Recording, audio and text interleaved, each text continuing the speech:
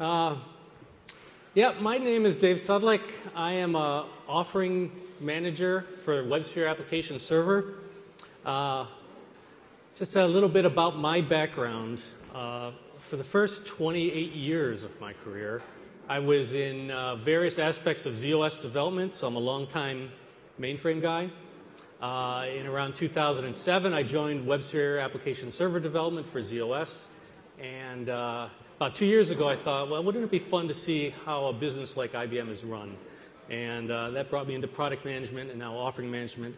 Um, and it's fun sometimes.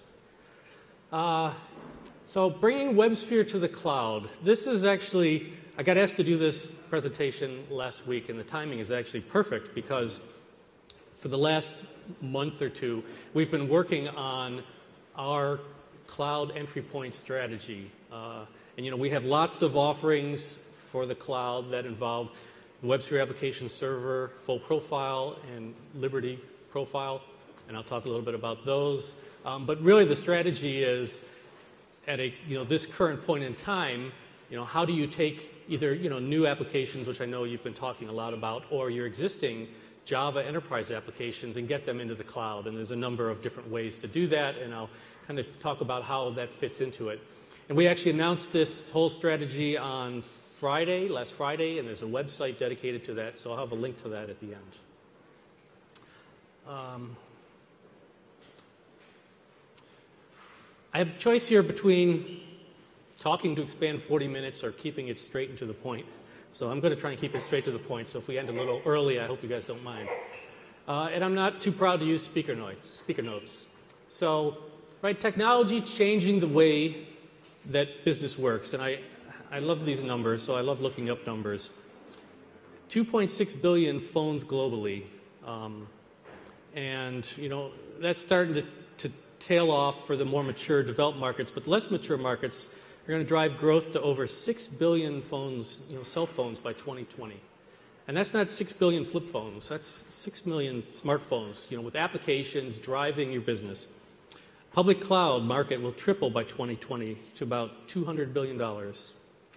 Internet of Things, projected growth from about 5 billion interconnected things today to about 25 billion internet connected things by 2020. So huge growth driving all of this, right? And lots of lots of uh, pressures on the business. There's cost pressures. There's uh, you know how do you handle that kind of volume? How do you develop your applications quickly uh, and get them to market quickly? Um, I, I, mean, just to contrast this from you know where I've come from in the past. Uh, ZOS itself, we used to have a two-year release cycle, in the, like in the late 90s, two years before a product would come out. And, and, to be fair, that was okay because customers would never take a new release more often than every two years. Uh, and now with Liberty Profile, we put new release out every quarter. Uh, and they get consumed as fast as we can put them out. So it's just, it's amazing. Uh, so you as business leaders, right, using this technology, all those things we talked about, Internet of Things, mobile and cloud, to basically, as, as a strategic, strategic lever for your business. Uh, and so what do you want to do? You want to save costs, okay?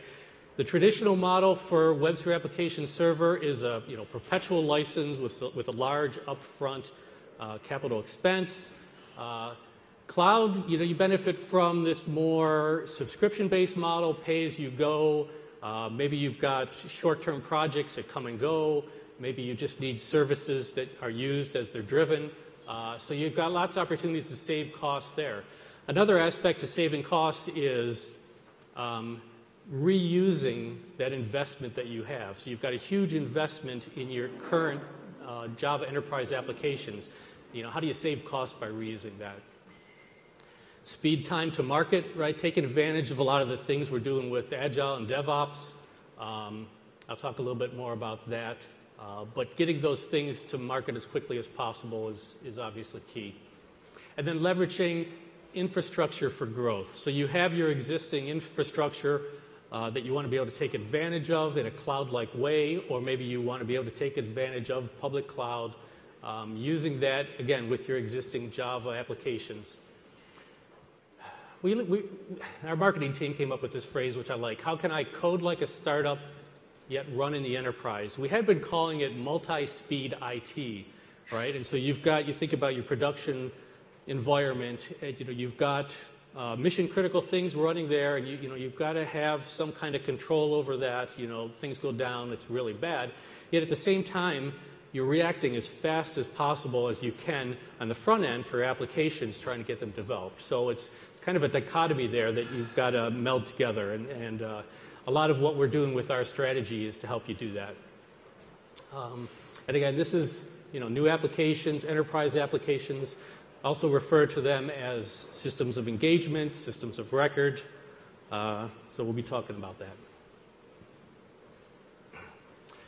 So this is a picture of what we have today. Um, it's kind of all over the place, uh, but what I'm going to do is kind of put it together in a way that hopefully makes sense when I'm done. And, and I mentioned multi-speed IT, right? On-prem, that is that you know your business critical, uh, you know process-oriented type environment. Speed of innovation is you know cloud development. Uh, so we have a number of different offerings today. We certainly still have the traditional on-premise, perpetual license, uh, WebSphere application server uh, environment. You know, bring your own host, run it on your own hardware. Uh, that is obviously still alive and well. We integrate with Pure Application, so Pure Application System, Pure, Pure Application Software, and over in the cloud, Pure Application Services. We also have uh, Liberty Build Pack and also WebSphere Application Server on Bluemix. So there's Bluemix Local, Bluemix Public, Bluemix Dedicated. Okay, I know you've been having people talk to you a lot about those.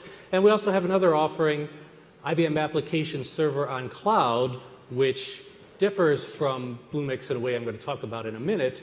Uh, and you can have IBM Application Server on Cloud in either a Bluemix or a SoftLayer environment.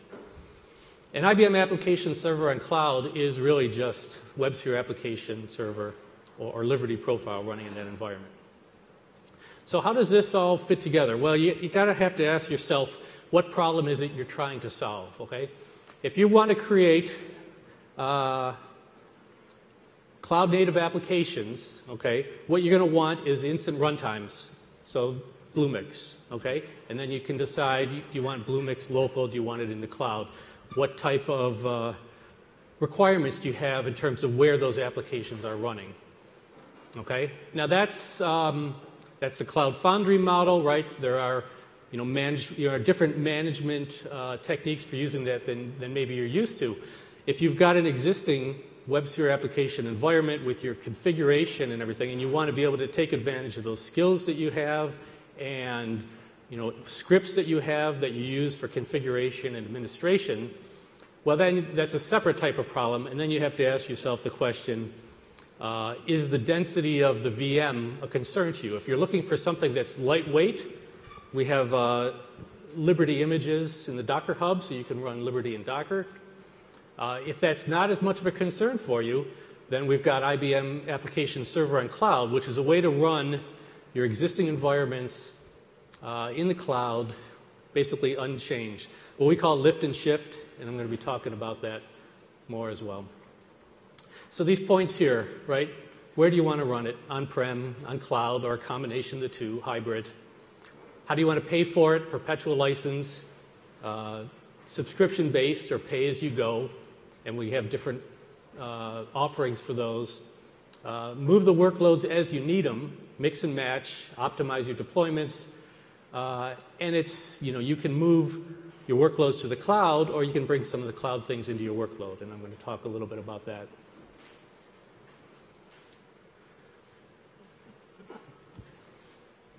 I think I pushed the wrong button, yeah. Okay, so this is, as, as uh, Dion Newman, the former head of Z Systems marketing, said, my charts are gorpy and, uh, and guilty as charged. So I don't want you to try and read the details here. This is uh, this basically the stack. And what's interesting here are the colors, okay? And these are the offerings that we have. Here's your on-prem model, and this dark blue says fully customer managed. So when you're running on-prem, you know, you're in charge of everything. And the idea is as you move across our set of offerings to pure application, IBM application server on cloud, and then Bluemix, more and more of that stack gets managed by you know, the platform that you're running on. Okay? So that's, I mean, I could talk to this chart for an hour, but that's the main thing that I want to make sure you got out of that. And it kind of puts those different offerings in perspective.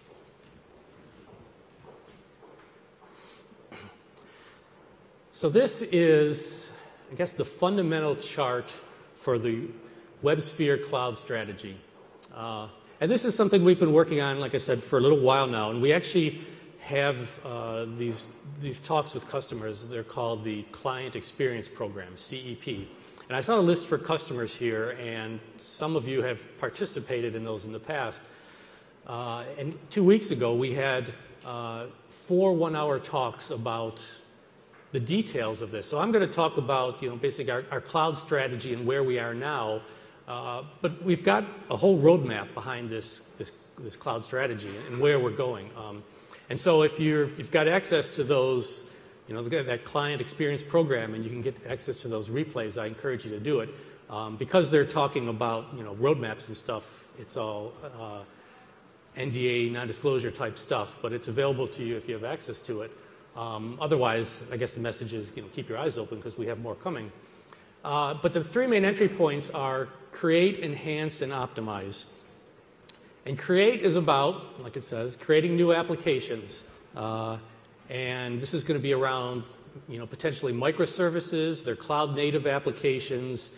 Uh, API economy comes into play here, as does uh, refactoring your existing applications. And so we've got some ways to do that, help you do those things now. We've got some things coming to help you do those. Uh, enhancing your applications. This is what we call bringing the cloud to your application. Uh, and basically, it, it involves taking your existing Java Enterprise application and enhancing it by calling Bluemix services. And, and, there are straightforward ways to do that, and you can take advantage of all those different Bluemix services that are out there. Uh, and I'm going to talk about all these in a little more detail. And then optimize this is again the one that we call lift and shift, right? So maybe you want to be able to take advantage of a cloud infrastructure. You want to be able to do rapid testing where you can uh, deploy and tear down environments, environments very quickly.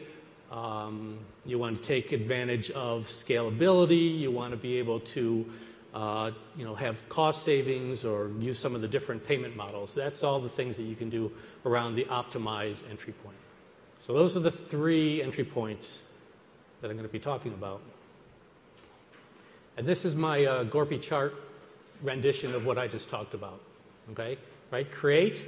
And under create, besides create, there's the connect aspect that, that plays into the whole uh, API economy um, uh, movement that's going on. And then there's reuse and refactor existing applications. Uh, optimize uh, is the uh, lift and shift, and then enhance your applications with uh, Bluemix services.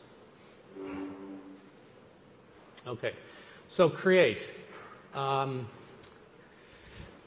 We've talked a little bit about cloud native applications, right? And this is being able to take advantage of the DevOps type tools that are available to you there. You have a choice of runtimes. Uh, typically, this is you know your Bluemix type environments, uh, and we have uh, both WebSphere application server full profile and Liberty profile uh, available in Bluemix for your use. Um, I was going to ask for a show of hands, but let me just mention briefly, in case you're not completely familiar with those two different application servers.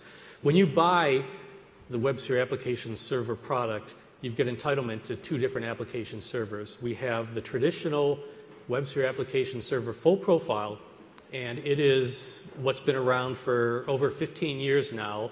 Um, and it's you know soup to nuts Java EE compliant uh, application uh, application server. Sorry, and then you also have entitlement to the newer Liberty profile. So Liberty profile has very different qualities of service from uh, WAS full profile. Liberty profile has a, is composable, so you only put the parts into it that you need.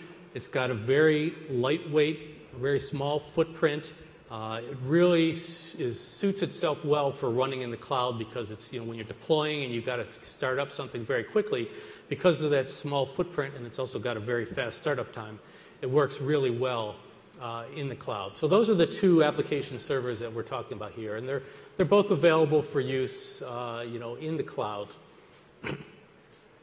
um, the other aspect I want to talk about is the connect, connecting your uh, cloud native applications you might be creating to your existing enterprise applications. Um, this is again every, the whole thinking behind the API economy and, and being able to leverage all those assets that you've created for maybe new uses or uses that you know weren't previously seen, uses either internally or externally, um, and and you know, the, typically the way that's done is through RESTful APIs with JSON payloads. That's uh, the predominant way to do that. And you can do that today with your uh, Java applications. You can use JAX-RS or you can use uh, RESTful enabled servlets. Um, you may be wondering about things like uh, documentation and publishing into API frameworks and things like Swagger. Uh, and for that kind of thing, I would just say uh, keep your eyes open. Um, these are things that we're looking at, into in terms of making uh, your APIs fit into the, the frameworks that we're building for, for APIs. And then the third aspect of Create is what I mentioned before, where you can actually uh, you know, reuse or refactor existing applications. And we have a lot of customers that, that want to do this, right? I mean, it's a, just a, a lot of work to take the existing applications that you have and, and uh, rewrite them as cloud native applications, but you certainly can take aspects of them uh, and maybe you've got parts of them that are you know, more suitable for a cloud type environment for whatever reason. Uh, and then there's you know, communication mechanisms that you can use to drive you know, communication between those two parts. Uh, so we've got uh, you know, products that will help you do that that I'm going to show near the end. So benefits for all these things, you know, I, I, mentioned it before, faster time to market. Continuous delivery uh, is, is a big thing. Um, as I mentioned, we're taking advantage of continuous delivery ourselves with Liberty Profile. So every quarter we put out a new release. Uh, efficient DevOps, uh, and a much simpler lifecycle management process. And when I, in the next slide, I'm going to talk a little bit more about that as well. Um, and all this is really to help you continue to get uh, value from your existing investments, even when you are creating some new, new uh, cloud native applications. So uh, Jason McGee talked earlier. I saw him talk about microservices. So I'm really not going to talk a lot about that.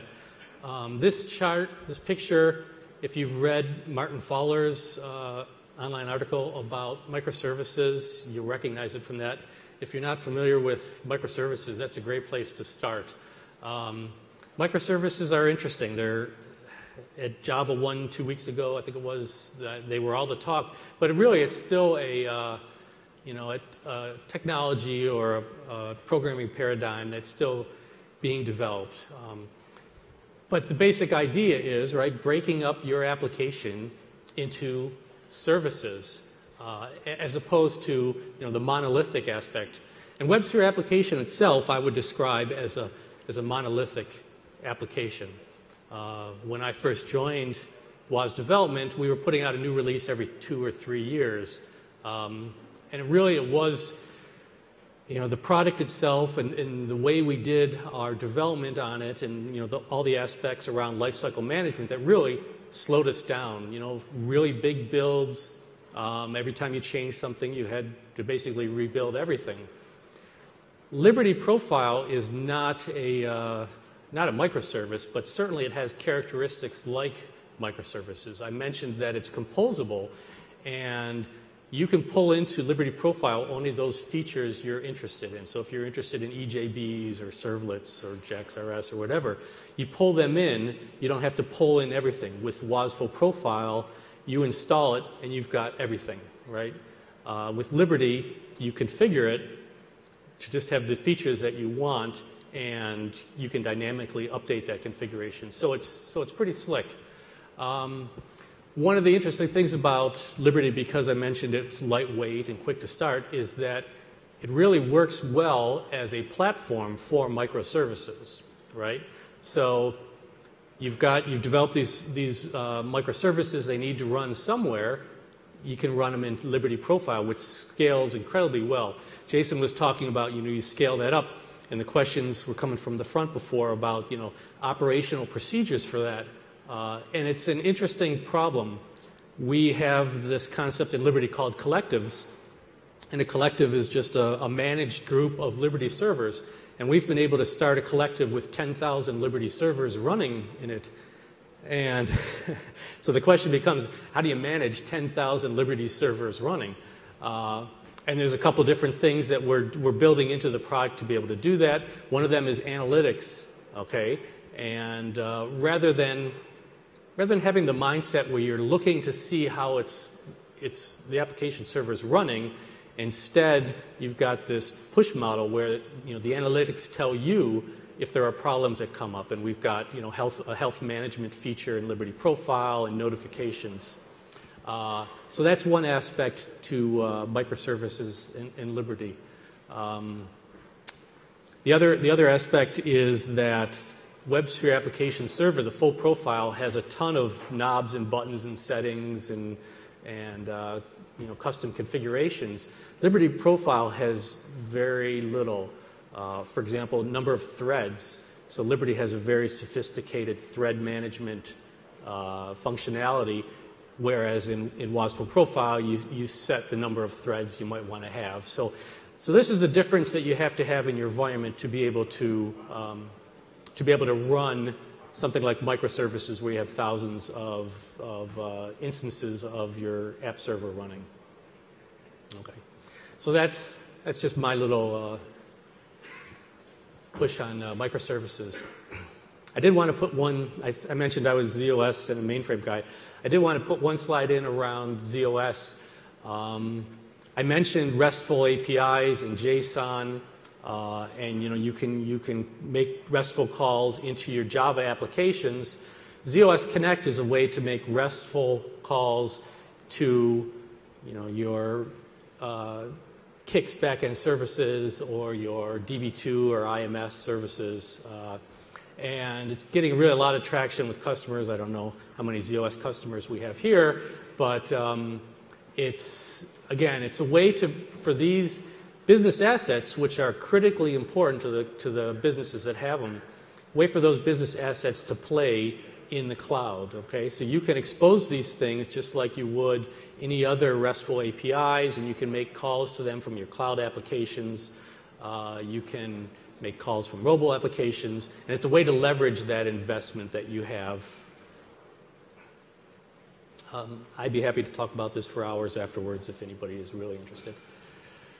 Uh, I did also want to say something about StrongLoop, too, because you probably are aware that IBM acquired StrongLoop a couple months ago. Uh, and this, again, plays very nicely into the API aspect that we're talking about and being able to connect to your existing assets through APIs. Well, there's kind of a, a horse race going on now between Java and JavaScript, right? The two most popular languages that are basically used for web-based applications. Uh, and so we've got uh, WebSphere application server, Liberty Profile, your Java enterprise application servers. And we also have, on top of our Node.js SDKs, we have the, uh, the StrongLoop product, which provides a very nice enterprise-ready environment to do the same kind of things you would do in WAS, um, but for your JavaScript Node.js applications. Uh, and it's, it's a really popular uh, framework for creating APIs. So I just wanted to mention that because it fits into the whole story, really. Okay.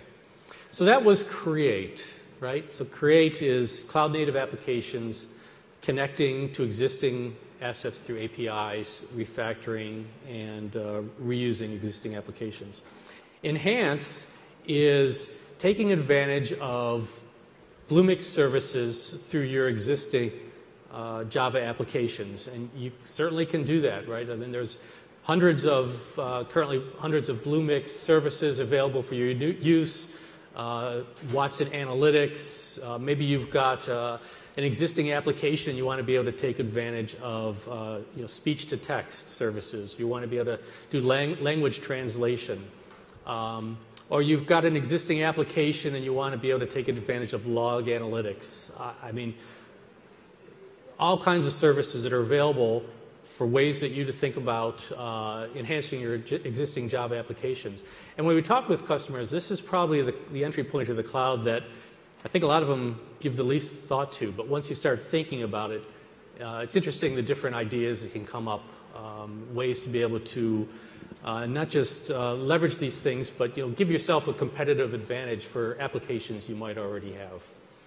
Uh, and this all again fits in with the uh, you know the Liberty Bluemix services was was on Bluemix that we that we offer. Uh, one of the interesting aspects of this, of course, is that the Bluemix services are pay as you go. So uh, the nice thing about it is you know you're just paying for that amount of it that you're using. Um, of the, of the cloud services.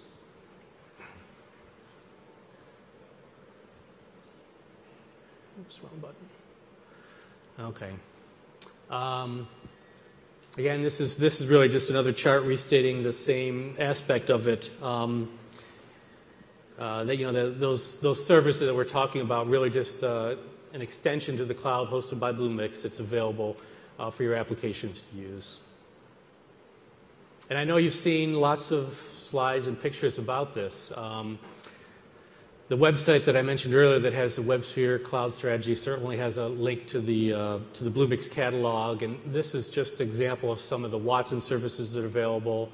Um, I'm not, it's more just to see the, the numbers available than, than uh, actually see what they are in this case. Um, data analytics, and again, lots of different categories of, of Bluemix services that are available for use by your existing Java applications. Okay. And then optimize. So this is, again, what I mentioned before as lift and shift. So you've got an existing environment uh, with your Java enterprise applications running. You've got a huge investment in those applications. You've got uh, all kinds of admin scripts and configuration scripts. Um, and you want to be able to take advantage of all that, but you want to be able to run it on a cloud type environment. Um, and you know, you do this for a number of reasons. You know, if you want to convert from a capex versus uh, opex, operating expense, operating expense type budget, uh, where you can you know pay monthly or, or hourly. Uh, there's also bring your own license pricing options that are available. You know, if you've already got existing WebSphere application server uh, perpetual licenses. Uh, and you know some of the reasons to do this. TCO reduction, right? So take advantage of the cloud platform and um, you know the management of that and, and the way that it can be managed in such a way so that you're taking most efficient use of those the resources that it's running on. That translates to a TCO reduction to you. Uh, there's also a risk reduction in terms of you know, the skills to be able to administer that environment if it's being administered for you. Um, so the two main problem statements when it comes to, to optimize and lift and shift, right? If you want an application, if you want application portability and the ability to build services and plug them into the cloud, okay, the key here are things around you know, portability and, and being able to have that lightweight container aspect. Uh, we've got uh, Liberty images uh, that run in, in Docker. Okay. Uh, the other, the other uh, problem statement here, I want to bring an existing application, uh, but you don't want to do any configuration changes. And like I said, use those existing scripts. IBM application server and cloud is the environment that, that will do that for you. And it runs on Bluemix or it can also run on SoftLayer. Uh, it really provides the best environment for taking your existing applications, moving them into the cloud.